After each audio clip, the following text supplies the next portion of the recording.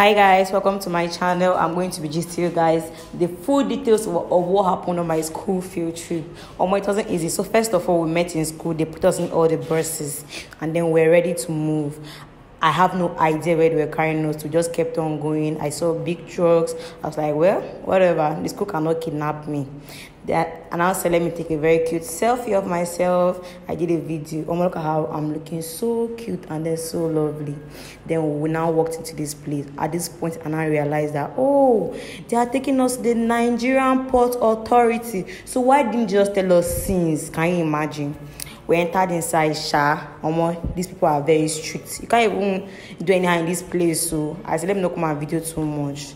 We now finally went and then we parked here. I don't even know what happened. Just stood there for long. There was sun. Like the sun was hot.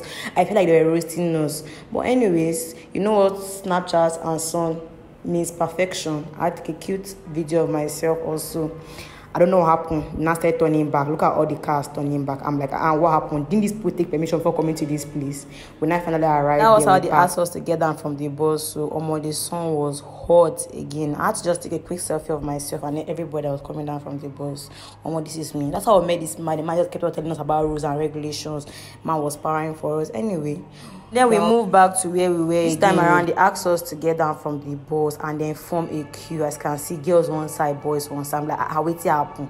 She, I know that they they were about to search us. They searched us, so we now finally finished searching us. We entered inside. Almost a sheep. I said, ah, this port come as a user and this slave trade me. I don't understand sheep. Sha, it was fun. They were just teaching like things about sheep, how the sheep moves, the goods they bring in, blah blah blah blah blah. I'm gonna take a selfie of myself, a good view of the sheep. I was so happy to be. I've never actually seen a real sheep in my life before. Look how plenty you were, Jesus. I finally took a cute video of myself. I asked someone to help me and do a video. I'm look how fine I'm looking. Mm, I was looking pink, fine girl. Anyway, Sha upon all this stress, I did not allow it show on me. See fine girl like me. I made a selfie of me and then my me hanging around. By this time, we are so tired, Jesus.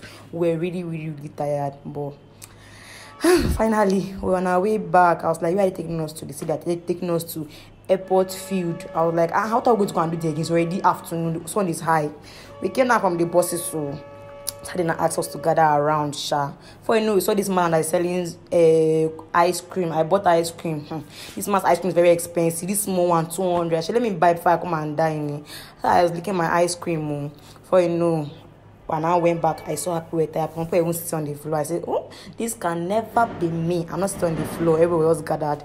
Our exam officer was talking to us, advising us. And I discovered that, oh, these people want to do item seven. So they're not sharing drinks for us. So they'll call your name, come and collect drink, hot drink with buns. I say, hmm. Anyways, my money, I'll collect it. I collected it. And then this is us on our way back home. Finally, I got to Omo. Thank God I didn't faint today. It was a very stressful day.